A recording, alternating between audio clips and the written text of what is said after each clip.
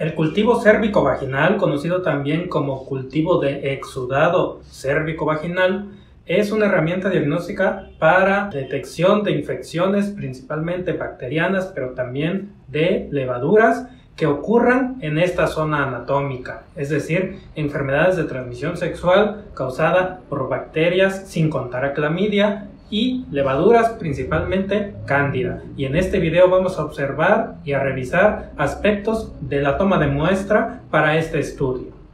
En primera instancia, conceptualizar que el cultivo cérvico-vaginal va a abordar principalmente lo que es Neisseria gonorrea, Garnerella vaginalis, Haemophilus ducreyi, Streptococcus agalactiae y Candida sp.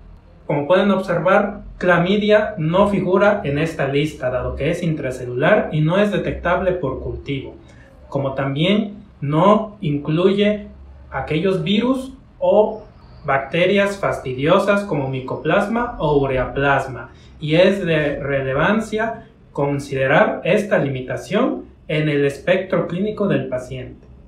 La paciente debe presentarse al laboratorio sin estar tomando antibióticos al menos 5 días previos a la toma de muestra para evitar interferencia.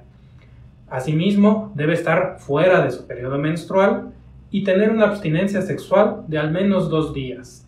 Se le deberá informar y, de ser posible, hacer firmar un consentimiento informado sobre el procedimiento que se le va a realizar. Se le debe explicar que se le va a introducir un espejo en el canal vaginal y que de preferencia será tomada por algún profesional de sexo femenino para evitar cualquier disgusto en este nivel. Lo normal para este estudio es tomar tres hisopos. Uno para el llamado examen en fresco, en donde puede detectarse tricomonas vaginalis por microscopía, ya que este es un parásito y no se va a poder obtener un cultivo, entonces es un plus del laboratorio el reporte de esta búsqueda. Por otra parte, se tomará una laminilla para una tinción de Gram, con lo cual principalmente se busca diplococos intracelulares o gestivos de Neisseria gonorrea. Y el tercer hisopo ya propiamente para el cultivo en cuestión, el cual deberá ir en un medio de transporte, principalmente medio Stuart AMIS, carbón activado o cualquiera que sea de la preferencia del laboratorio. Cabe aclarar que hay laboratorios que en sus políticas no manejan estos tres hisopos y solamente se enfocan al que va en medio de transporte. Entonces, pues en dado caso se deberá acatar estas instrucciones o promover a que se haga con los tres hisopos. Pues bien, Colocamos a la paciente en el chest long o en la silla ginecológica en posición ginecológica. Elegimos el espejo vaginal adecuado a la complexión de la paciente. Hay chico, mediano y grande. El chico para aquellas pacientes muy pequeñas o nulíparas que no han tenido partos. Y el mediano y grande para pacientes que ya han tenido partos y que dependiendo de que si son de una complexión normal o una complexión más robusta, se elegirá el mediano o el grande respectivamente. El espejo vaginal se toma de esta forma y se introduce en esta orientación. Conforme se va introduciendo, se va girando hasta que quede en esta posición.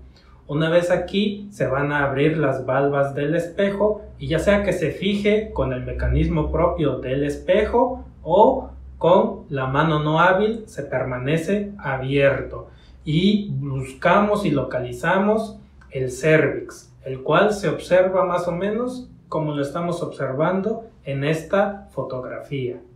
Una vez localizado, vamos a hacer la similitud de que este es el cervix. Entonces, como sabemos, hay ecto y endocervix similar a cómo se toma un Papa Nicolau, solamente que los hisopos utilizados para estos fines son de dacrón, rayón o algún otro material, no son cerdas propiamente dichas. Por consiguiente, este tipo de hisopos solamente son utilizados o sirven para los cultivos bacterianos. como los que nos atañe en este instante.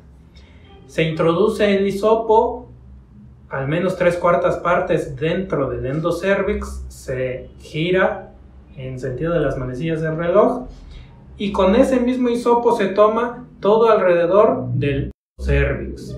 Es decir, vamos a abarcar toda la región coloreada en color rojo y azul en esta fotografía y como lo estamos observando en estas imágenes.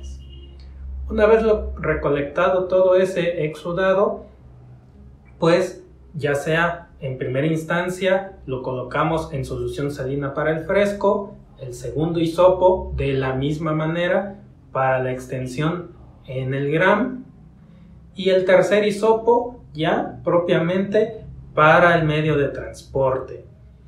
No es recomendable estriar inmediatamente después de la toma de muestra, dado que pues puede ocasionar contaminación. Siempre inmediatamente después de acabar la toma de muestra, colocarlo en el medio de transporte y cerrarlo de inmediato.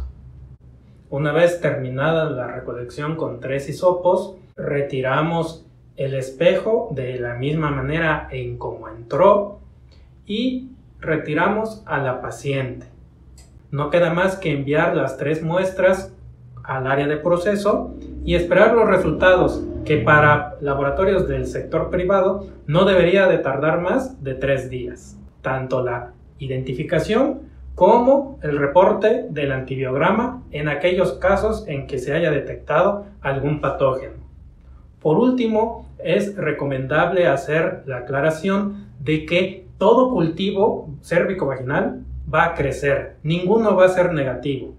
El detalle va a ser en que lo que crezca se diferencie entre microbiota normal y la lista de patógenos que se compartió al inicio y que vuelvo a colocar en esta instancia.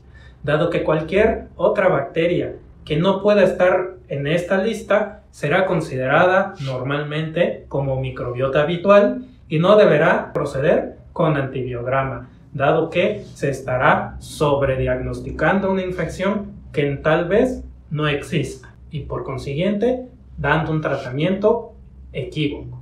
Como segunda aclaración también, no queda más que recalcar de nuevo que hay muchos agentes, como los estamos observando aquí, que no pueden ser detectados por este método diagnóstico y se deberá recurrir ya sea a la detección de antígenos, a la reacción en cadena de la polimerasa, otros tipos de métodos, los cuales ya se realizó una discusión y lo dejo en el video recomendado de este lado.